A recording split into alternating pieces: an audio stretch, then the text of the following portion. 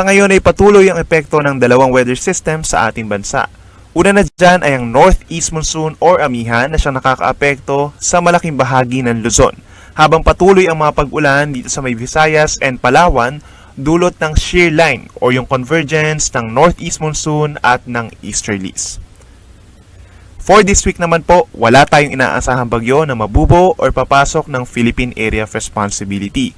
Nonetheless, may nakikita pa rin tayong dalawa hanggang tatlong bagyo na posibleng pumasok ng ating PAR bago matapos ang buwan ng Nobyembre. Ngayong araw dahil sa shear line, asahan pa rin ang mga pag-ulan dito sa probinsya ng Palawan. Light to moderate with at times heavy rains kaya posible ito magdulot ng mga pagbaha or landslides. Dito naman sa natitirang bahagi ng Luzon, kabilang ang Metro Manila, asahan natin yung partly cloudy to cloudy skies for the next 24 hours. Mataas ang tsansa ng mga light to moderate rains sa Cagayan Valley. Meron din mga light rains dito sa may Aurora, Quezon Province, and then Bicol Region. And then sa natitirang bahagi pa po ng Luzon, mababa lamang ang tsansa ng mga pag-ulan. Temperatura sa Metro Manila ay mula 24 hanggang 32 degrees Celsius. In other areas such as Baguio, pinakamalamig na ang 16 degrees Celsius, Tagaytay lowest 22 degrees, at sa natitirang bahagi pa ng Luzon mula 24 hanggang 32 degrees Celsius. Sa ating mga kababayan sa Visayas, asahan pa rin natin ang minsang maulap na kalangitan na sasamahan pa ng light to moderate with at times heavy rains. Epekto po yan ng shear line o yung convergence ng amihan at ng easterlies. Walang kinalaman ito sa bagyo pero asahan natin yung mga pag-ulan posible magdulot ng mga pagbaha or landslides. Sa Mindanao, pinakaapektado ng shear line at ng easterlies ang Caraga region and Davao region. Kaya pinag-iingat natin din sila sa flash floods or landslides. And for the rest of Mindanao, asahan naman bahagyang maulap, minsang maulap ang kalangitan at makakaasa din ng mga localized thunderstorms o yung mga pulupulong pagkidlat pagkulog lalo na sa hapon hanggang sa gabi. Temperature natin sa Visayas naglalaro mula 25 hanggang 32 degrees Celsius habang dito naman sa Mindanao pinakamainit ang 32 degrees at pinakamababa ang 24 degrees Celsius. Meron po tayong gale warning epekto ng amihan or northeast monsoon. So ibig sabihin meron tayong malalakas na mga hangin na kasabay ng matataas na mga pag-alon.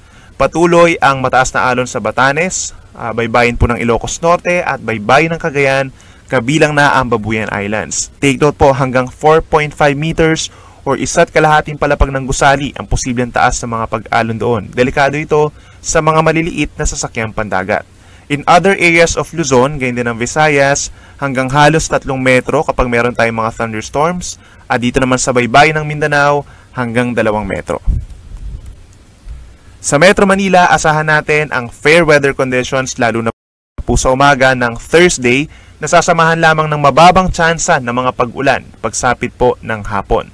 For Friday and Saturday, may chance rin ng mga pagulan pagsapit ng hapon. Ito yung mga saglit lamang na thunderstorms. And then sa umaga hanggang sa tanghali, mostly cloudy skies naman. So hindi ganun kainitan. Sa ating mga kababayan po sa Baguio City at sa mga nagbabalak mamasyal sa susunod na tatlong araw, asahan ng maaraw na panahon lalo na po sa umaga hanggang sa tanghali. Sa tanghali din, hindi kainitan hanggang 26 degrees Celsius. And then meron lamang mga pulupulong mga may hinang pagulan or isolated light rains pagsapit ng hapon ng Friday at ng Saturday. Sa ating mga kababayan sa Bicol Region, patuloy ang epekto ng easterlies at ng shear line sa Thursday and Friday. So asahan na yung maulap na kalangitan na sasamahan pa ng minsang light to moderate with the times heavy rains kaya pinag-iingat natin sila sa mga posibleng pagbaha or landslides. Temperature is from 24 hanggang 31 degrees Celsius. mag increase naman yung temperatura pagsapit po ng weekend and then bahagyang bubuti yung panahon, meron pa rin mga saglit na mga pag-ulan. Sa atong mga kaigsonan din ha, sa Metro Cebu, asahan natin ang bahagyang maulap at minsan maulap na kalangitan at throughout the day, possible po yung mga saglit na pag-ulan. Ito po yung mga isolated rain showers or thunderstorms lamang.